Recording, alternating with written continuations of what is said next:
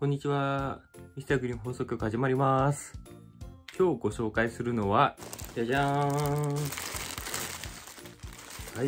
ね、ここにはもう、ザ・ノースフェイスと書いてありますね。広げていきます。はい。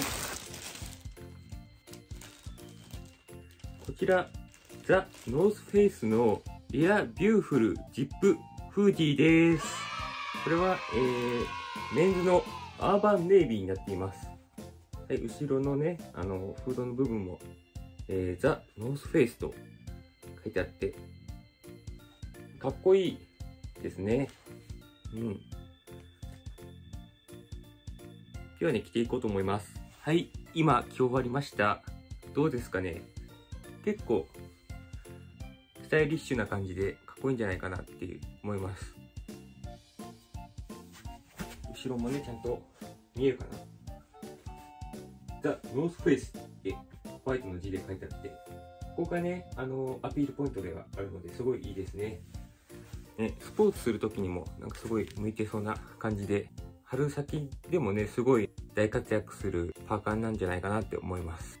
ザ・ノースフェイス、あの、知ってる方多いと思うんですが、どんな会社か説明しますと、ザ・ノースフェイスはアウトドア用品や衣服、登山用具の製作、販売を手掛けるアメリカ合衆国の企業です。山岳で登山が難しい北側のことを指すノースフェイスが社名の由来になっています。で、あの、ヨセミテ国立公園のハーフドームの北壁をモチーフにしたロゴを導入しています。はい。そういうことなんですね。あの、今、あの、画面にも出ている、このハーフドームですね。ヨセミテ国立公園内にある、このドームをモチーフにロゴがデザインされてあるんですね。ちなみにザ・ノースフェイス、自分が好きなブランドで、あの、こちらのね、あの、帽子とかね、これすごい、あの、運動するときに、あの、メッシュ素材になってるので、後ろの方とか、すごいね、あの、汗かいた時とか、熱をね、ためないのでいいですよね。うん。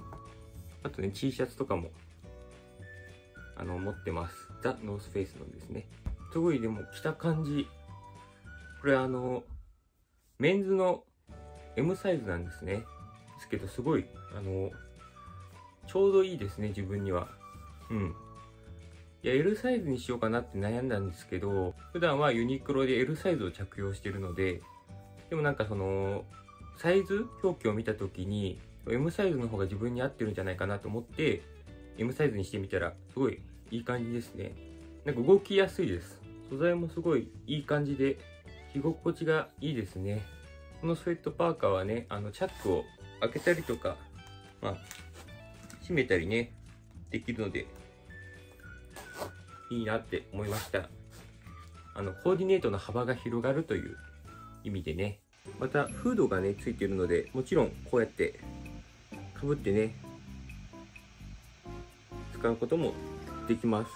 でこれに雨いきなり降ってきた時とか、すごい便利なんですよね。ポケットもね、あの、ここにあるので、物を入れたい時に便利ですね。